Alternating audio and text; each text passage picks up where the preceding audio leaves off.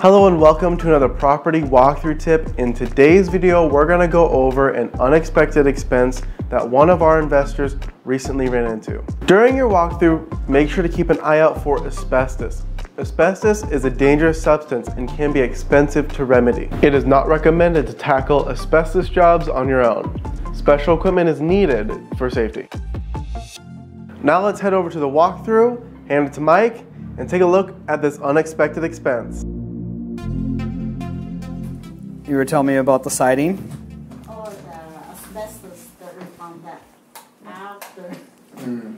we get the, uh, we bought it, so it costs uh, seven hundred per square foot To remove. to remove. That's a lot. So it's thirty-five hundred, thirty-five thousand. Yeah. Yeah. For this- We didn't calculate on top of the budget that we have renovating.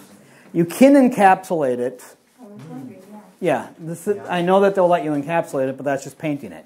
Now you're telling me now if you put siding over it, If you get, if you put siding, the vinyl siding over it, uh, it's not gonna be under warranty. The They're vi- not going to warranty the siding.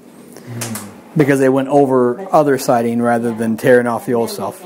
So yeah, that's the thing you got to keep an eye out on. Just for that. Yep, Minneapolis is one of those things. Yeah, these these old houses pre 1978 are probably going to have either asbestos or lead on them, unless they've been updated since then. And that's the, like, 17 1978. 1978 is when the they stopped putting lead in paint.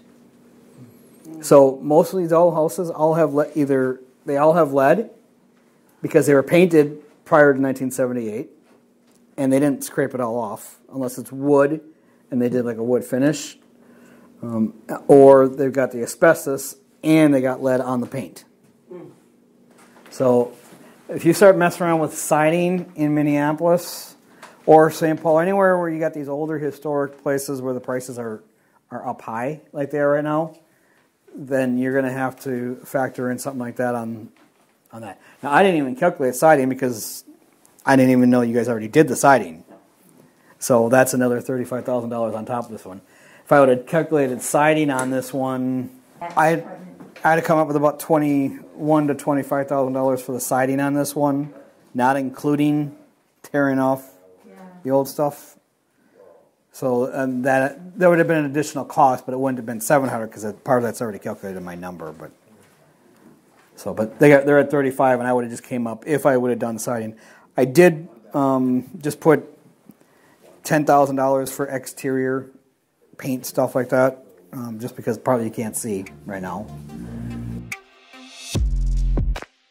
Depending on a property's location and the year it was built, asbestos may have been used during construction. In this property's case, the original asbestos siding was covered up in a past renovation, resulting in a $700 per square foot expense. In total, $35,000, on top of the already estimated expense for repair. Thankfully, our friends factored in a safety margin for unexpected expenses just like this one.